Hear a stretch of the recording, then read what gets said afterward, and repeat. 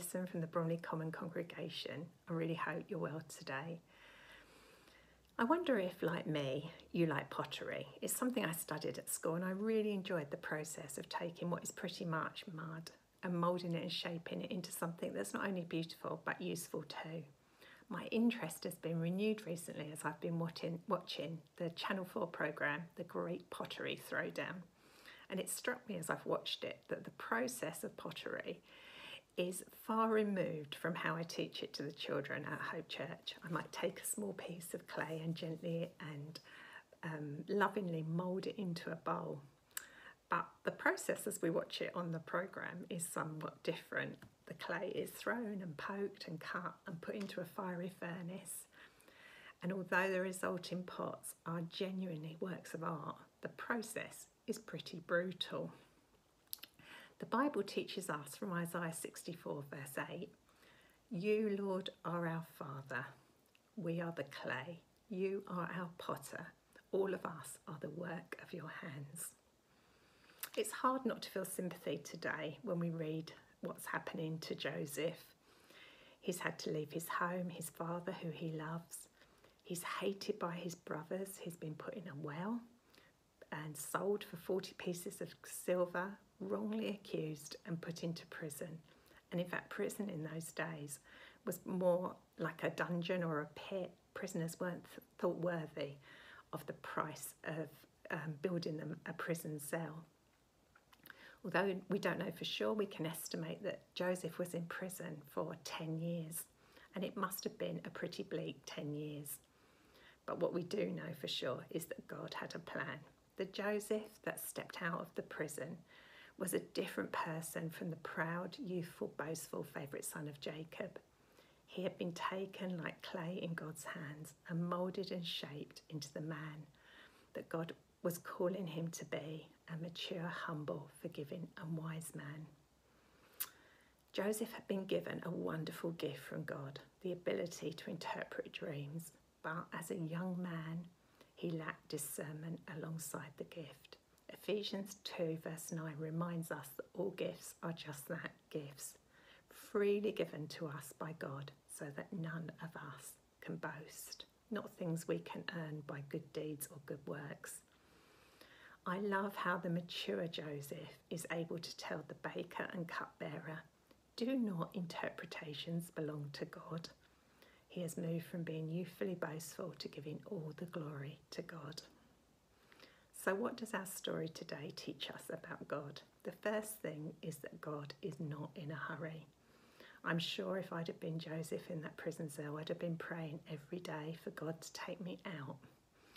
But God had a plan and He won't rush it. He gently shapes and moulds us and leads us into being the person He has created us to be. You'll notice with potters that when the clay goes wrong, they don't throw it away. They start again and gently start the moulding process again. And God's like that with us. He doesn't throw us away when we get things wrong, but He will start remoulding and reshaping us. The second thing we notice is something that Rick Warren teaches God is more interested in our character than our comfort. Some years ago, the time came for us to choose a secondary school for our daughter Lucy. We had two choices, but both schools had a reputation for being really tough a friend of mine rang me. She goes to another church and she'd been praying for me. And she had a sense from God that he was showing her a picture of Lucy with a pencil case, and she felt that God was saying that Lucy was choosing between two schools. She said God had reminded her of the story of David and how he fought both bear and mountain lion while he was a shepherd. And she said that she felt for Lucy, one school would be like fighting a bear, and another like fighting a lion. Not really what we wanted to hear, but that God wanted us to know He was resourcing Lucy. The pencil case. For David, it was five stones and a sling. For Lucy, it was a hunger for the things of God, really, a desire to read His Word, to pray, and to dig into deep, deep into Him. School was tough for Lucy, but she really came out of it just knowing that God is really with her and really for her. And the Bible says that when God is for us, who can be against us? The thing about today's story that I most love, though, is how it points us to Jesus.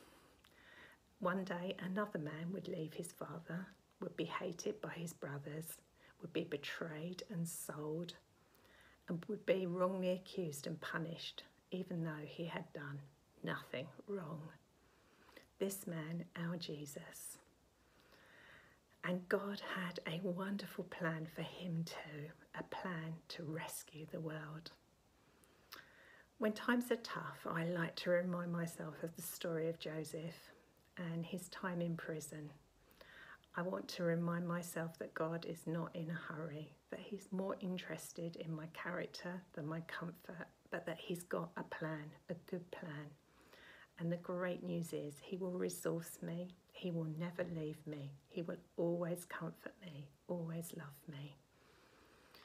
And if we ever find ourselves like those pots in a fiery furnace, we can remind ourselves that, like the three men in the book of Daniel that go into the fiery furnace, it was clear there were four men there. Jesus was in there with them. Jesus is with us today too. Shall we pray? Father, we want to thank you that you are our Father. You love us and you are our potter and we are the clay.